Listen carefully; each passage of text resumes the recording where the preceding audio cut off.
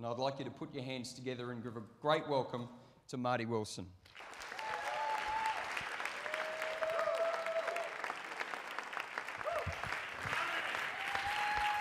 My first ever time in Paris, best thing I saw, not the Eiffel Tower, not the Arc de Triomphe, not the Champs Elysees.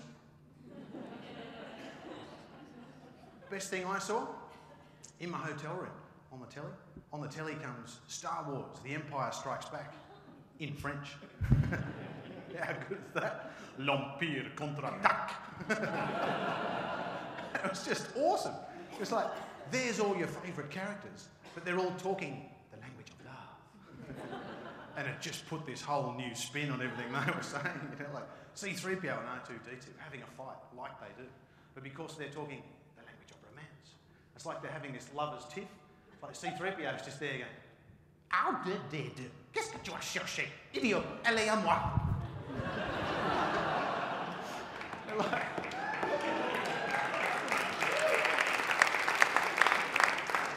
And little Yoda was there. And because he was talking French, it was, it was like he was this sleazy little munchkin firmly on the ball, just hobbling around, just going, Snog you, I can. Mm, yes. and when I was young again, I'd always be whinging about, oh, God, I've just got everything set up now. It's all changed again. It's not fair. Why does life never work out just as I plan it? Not fair. Of course it's not fair. Life isn't fair. The world isn't fair. like if the universe was a fair place, the only time they'd ever let Britney Spears anywhere near a microphone would be to say, Price check, check out three, lamb mince, one kilo. Price check, check out three. I'm like, I'm a pharmacist, turned copywriter, turned stand-up comic, turned wine writer, turned author and speaker, and I still find change incredibly unsettling. You know, if any of your friends ever stand up and say, I love change, I am the change master, change scares me not. Just point and say, liar, liar, your nervous skid mark pants are on fire. but there are things we can do. There are things we can do to, to manage change and wrap our head around change a bit better. The first thing we can do, listen to your body, not your brain. Because your conscious mind just stresses out and gets all worried. But our bodies, so we should listen to our bodies. Because when it comes to change, our bodies understand life better than we do. Everyone, close your eyes for a second. Close your eyes. Everybody. Imagine you're in bed, not the, little, lady walking back to her seat, that'd be really embarrassing. Imagine you're in bed, lying on your left side, having one of those much underrated afternoon nana naps. Oh? People with young kids just stretch your mind way, way, way, way, way, way, way back. now, you're lying on your left side. After a while, your left hip gets a little bit achy. Mm. Your left shoulder gets a bit of a twinge. Mm. Your body, without even talking to your conscious mind, rolls you over to your right hand side. Everything's wonderful again, super snuggly. Everyone say, uh. okay, open your eyes now. That's awesome from up here, I've got to tell you. but the thing to notice is not what your body does, but what your body does not do. When things get uncomfortable, your, your body doesn't get all stubborn and stick to its left, left side through thick and thin because I'm a left-sider. I've always been a left-sider. I come from a proud family of left-siders. You know, your body doesn't freeze up, all terrified of change. You know, oh, the left side was comfortable when I first lay down. Why isn't it comfortable now? I cannot roll over until I know exactly what it's going to feel like lying on my right side.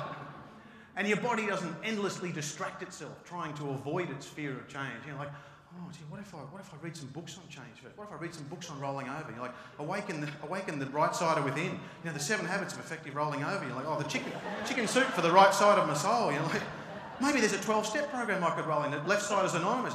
Hi, my name's Marty and I'm a left sider. It's been six days since my last rollover. Hi, Marty. no, our bodies just change. Left side, achy breaky, roll over. You know, all day, sitting down, numb bum, stand up. Simple. All I'm saying, in times like these, you are far better off throwing your energy into new things. Change is good. Different is good. You know, if there's a new role going at work, put your hand up.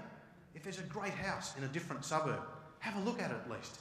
You know, if your wife asks you to dress up like Elmer Fudd, give it a go. It's the worst thing. And no, I'm not in character now. Be very quiet. I'm hunting furry mammals. Change is like the Terminator. You know, you can run away from it for a while, but it will keep coming. It will track you down. It does not feel pity or remorse, and it will not stop till it has you pinned to the floor, whining like the scared little baby that you are. Actually, that's not very fair on change. you will always have problems. The trick in life is to make sure that your problems are worth having. You know, like for example, from at the moment, the world climate, uh, the, the worldwide economic climate, the markets are sick as a dog. But you know, let's let's take stock. Compare your 2009 with the people of bushland Victoria. Things ain't that bad. I mean, let's have a, take a worldwide view of things.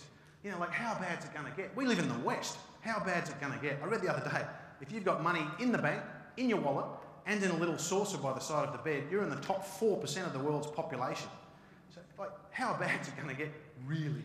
I know I'm having a bit of a rant, but I've got to tell you, I'm getting a bit sick of just how many Aussies are having such a big sook about Australia lately. Like, they are. Like, everyone's getting really down and whinging about Australia. Like every other country in the world, people love their own country. Kiwis love New Zealand. You know, Americans like, ah, greatest country in the world. You know, like the Irish, like, ah, it's fantastic, fantastic, fantastic. Even the English, even the English people like, you know, it's so crap, it's great. it's great, It's so crap, it's wonderful. But Aussies have, obviously, a lot of Aussies sort of turn into that, you know, that spoilt six-year-old wake, wakes up on Christmas Day with nothing they wanted, just walking around going, I hate this place, it's rubbish, shut up, I there's nothing here, I'm like, shut up, shut up, I hate it, no, I hate it, shut up. but it's nuts. See, what were the biggest, two biggest health threats announced to the Australian public last year? These two incredible killers that are just going to rip apart the fabric of our nation. Allergies and obesity. Do you seriously think there's anyone walking around Baghdad today like, boom, car bomb to the left of him, kaboom, suicide bomb to the right of him? My sinuses! My oh, look, my bum is enormous. Look at my muffin tops. Let's go to the BBC World Service for today's deadly pollen count from Iraq. Laughter is fantastic at reducing stress hormones, releasing endorphins, lowering blood pressure, like, and also it's fantastic at diffusing potentially aggressive situations, which are really common in times of change. You know, for example, road rage. Apparently, road rage is madly on the up. And um, this American mate of mine is madly into the road rage. Like, he's Southern American, like real down home. You're like, hey, don't go changing. Yeah, have a nice day. Like, if anything, a bit sickly sweet. but you put two tons of machinery around him, he pops a handful of the angry pills. He's mad for it. Uh, goes absolutely nuts in the car. And his girlfriend, Saskia, Saskia, Saskia. Is one of those girls, everyone knows at least one woman like this, who's like right into like, you know, the crystals, the aromatherapy, dolphins, you know, tarot, astrology. no nice way to say it. Hairy, hairy girl. Anyway, Saskia tries like these new age anger techniques on this mate of mine to try and centre him and calm him down. like, he'll be going nuts in the car and she'll be like, honey, honey, Jeremy, picture yourself at home with a chamomile tea. Darling, your anger only hurts you, which drives him absolutely mad.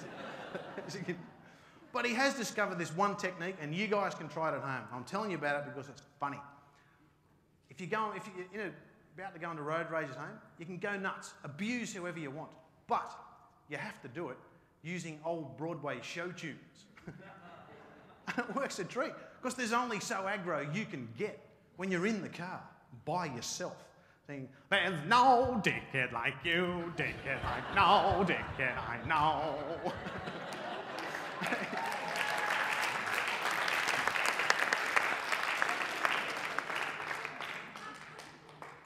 and he demonstrated it for me. Like we were driving along, are driving along, and this bloke in a Range Rover cut us up. You know those like typical inner city rich who buys the Range Rover so they can successfully navigate those treacherous leafy avenues of Mosman. You know? I'm guessing there's a few here today. oh, botheration. Love it. Love it. Simply murderous pothole in Lower Pumpernickel Mews. anyway, I thought this mate of mine was going to go nuts, but he's just calmly got out of the car, looked across at me, and just said, West Side Story. He's gone up the bloke, I swear, middle of Mosman, middle of the day like this, just going.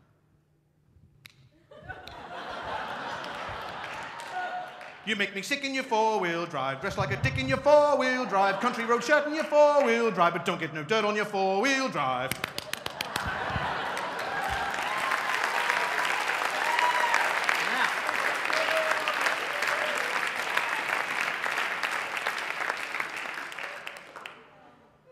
Myself, I can do that. I was practicing at home, biding my time. About two weeks later, driving my little boring man's Camry that I've got over here, and uh, this guy in a Saab just jams the brakes on in front of me, almost run up his bum. My mate thinks I'm going to go crazy. I've been rehearsing. I just calmly get out of the car, look across at him, and just say, Sound of music. And I start walking up the guy in the Saab, just going, Bastards in Bentleys and cretins in Calais, ducking and weaving and barging in my way, driving like dickheads and cutting in front. Just like old Saab drivers, you are a huge Tongan who belt the Jesus out of. Just smack me.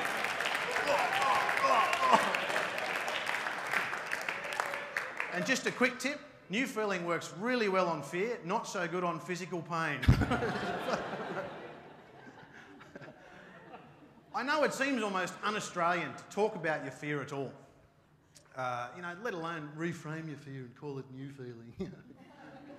but it works. Trust me, it works. I did it for 10 years on the stand up circuit in the UK, and I did it the day I got married. The, I used it the day I became a father for the first time. My little boy used it, and it worked so well for him that uh, he explained it to his five year old friends, and it worked for them as well. Don't Feel the fear and do it anyway. Get the new feeling and do it gladly.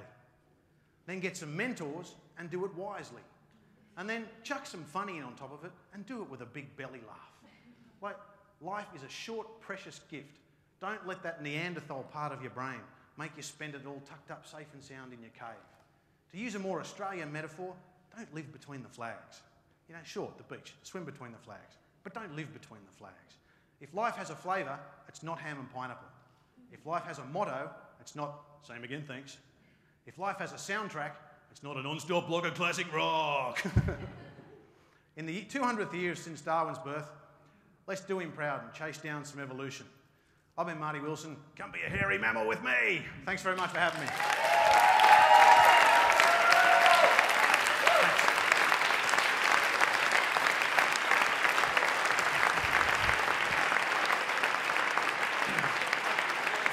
get back up on.